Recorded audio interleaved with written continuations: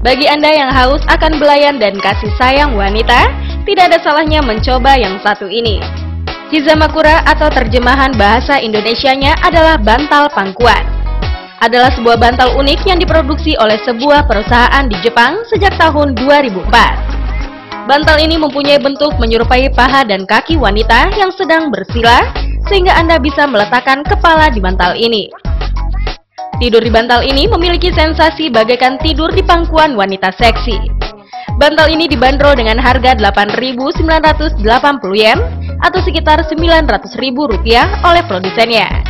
Dan ini menjadi produk yang sangat populer sebagai hadiah Natal maupun perayaan akhir tahun.